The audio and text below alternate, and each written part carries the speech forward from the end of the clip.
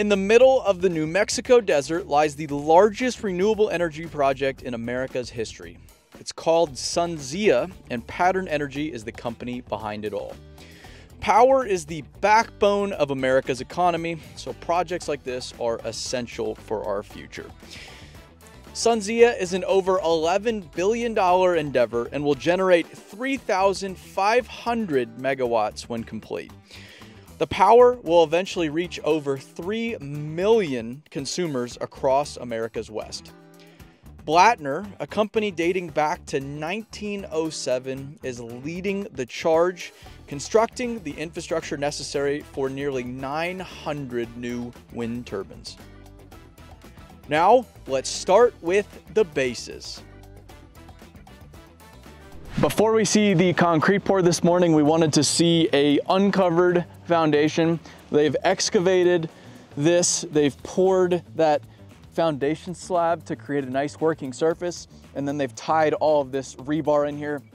You could see from, from our position where we're standing, but definitely from the drone, that this is essentially just this gigantic pedestal all of this, once it's poured, will be covered by earth. You won't be able to see any of this. You'll just be able to see where the wind turbines sprouting out of the ground. The crew, it's uncovered now, but it's pretty cold. We're in the desert. It gets cold in the winter though. It's below freezing every night. This will be poured tomorrow. They're gonna cover all of this with blankets to get the rebar up to temperature a little warmer before they pour. Tomorrow they'll take those blankets off right before they pour so that there's there's no cracking, and then within a few days, this will be backfilled and no one will ever see it again.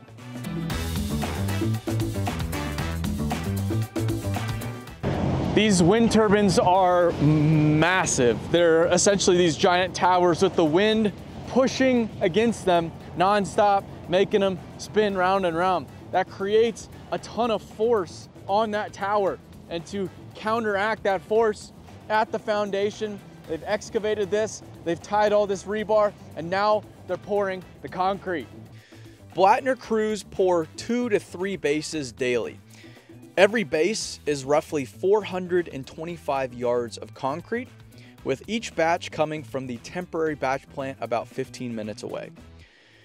Each truck hauls about 10 yards and then dumps into a hopper feeding an enormous telebelt truck. Now, why are they using this truck over a pump? A pump is typically around 50 yards per hour. This right now has an output of about 150 yards per hour. It's much, much faster and he can park it here. He can put those stabilizers down.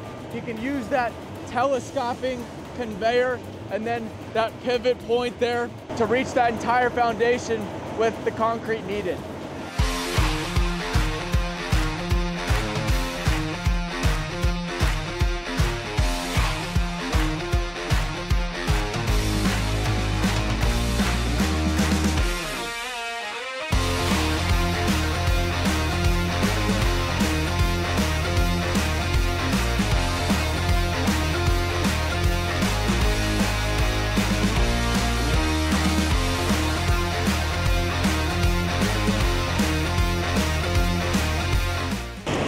The placement truck is run by remote. So the guy with the controller up there right here, he's just moving those controls to get that exactly where it needs to be, to turn it or to extend that belt either direction, place it all the way around. We can see the blanket around the foundation. It's a jacket, and then these little tubes here coming from here are the heat. It's pumping this heat in there. It's keeping that rebar nice and warm as they're pouring the concrete, they're pulling these blankets back. And then once all the concrete's poured, they'll put the blankets back on there to help with the curing process to make sure the temperature is where it needs to be with it just around freezing right now. And finally, as they're placing that concrete, you'll notice a guy with this stick. He's moving up and down in there. It's a giant vibrator. It helps consolidate that concrete, get rid of those air voids. You don't want air voids that makes the concrete weaker. They're trying to consolidate that concrete as they go and you can see they're moving in a circular motion. So they're placing a little bit at a time to make sure all that's consolidated as they work their way up the foundation. It's key to place it like this to make sure that foundation is as strong as possible. So that's how they pour them. Now let's see what they look like when they are backfilled and completed. This is the backfill operation. We just checked out a finished foundation and here's what it looks like when it's almost brought back up to grade. They have two dozers, they're pushing this dirt uh, one foot lifts to cover that foundation. They have a roller there, they're wetting it with the water truck, compacting it. You have that soil tester there, making sure that compaction's where it needs to be, all the way up to that finished grade. They're almost done here. Beautiful view, by the way. Uh, and we almost, almost at this point have a finished wind turbine foundation.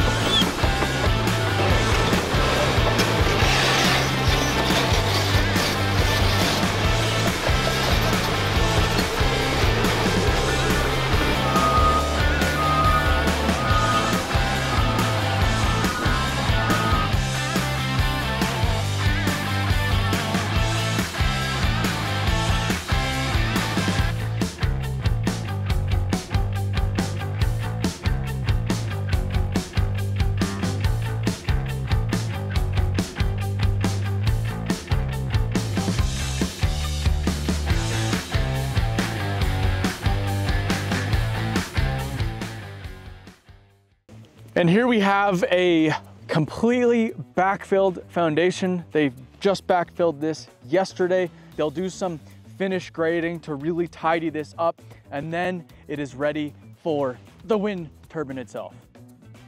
This is a good view of the foundation itself. It's been completed. We have the steel, we have the concrete underneath us. This is the only bit of concrete that will be exposed uh, from now forever. They have the steel that's coming out of that reinforcement. This is what's gonna be tensioned to that foundation to keep that foundation in place. We have these grounding wires here, that solid copper, and then we have the conduit in the middle to drop those cables in there so they can pull the energy from here to where it needs to go. Each one of these pieces of reinforcing steel is threaded, so they'll bolt on They'll put the foundation here and then they'll thread bolts onto each. There are two, four, six, eight, 10, 12,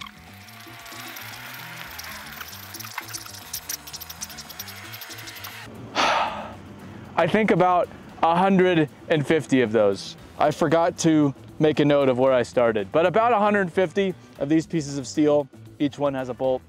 That's what keeps the whole thing connected.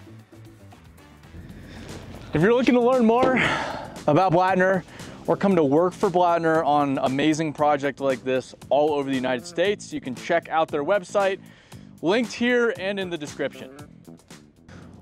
Where does all of the concrete on this project come from? Well, it comes from the batch plant on site over yonder. They put it right in the middle, so those concrete trucks don't have to drive very far to any one of those foundations and it eliminates truck traffic on the surrounding area. So all the aggregate is brought in, the cement's brought in, everything's batched on site, the concrete trucks come in and then they drive to wherever they need to go to pour those foundations.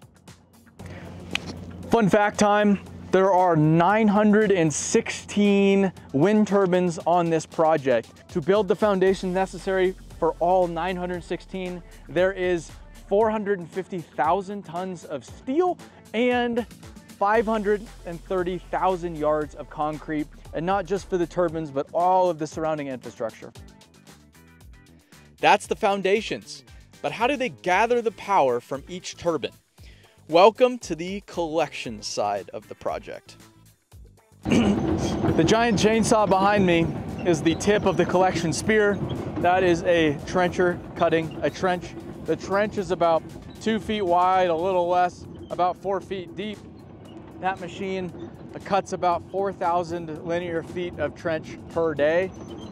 It works basically similar principle to a chainsaw, spinning that chain around it picks that material up underneath the chain, it puts it onto a conveyor belt, and it spits it out into a windrow.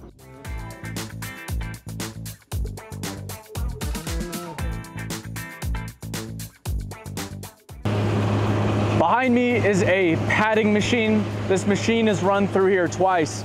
The first go is to make a nice layer, uh, a nice smooth layer on the bottom of the trench free of rocks any bigger than 3 8 inch so it doesn't damage the cable. They put the cable in there and then they run it over here again to cover that cable. Again, taking these rocks, discarding them, putting the nice stuff in the trench, and then when they're done, they have a blade that'll come through and knock the rest of the material into the trench to backfill it. This is really key because those two cables, the fiber optic cable and the power cable, they cannot be damaged. So getting these rocks out of here keeps that damage from happening, keeps those cables nice and safe so that they can do what they need to do for each turbine. Here's the cable. This is what connects every point, every dot out here, every future wind turbine together. This is what transports what we're really after, the power. We're putting this in there and then we're putting an orange conduit in there as well, which will be a fiber line.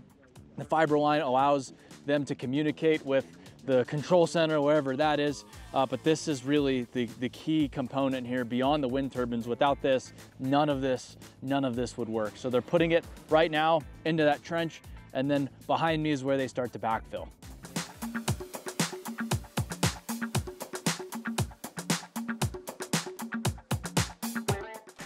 That concludes today's visit with Blattner, seeing how the wind turbine foundations are built. Hopefully we come back if we're not abducted this evening, in a few months to see the actual wind turbines get constructed like giant Legos. Thanks for watching. We'll see you next time.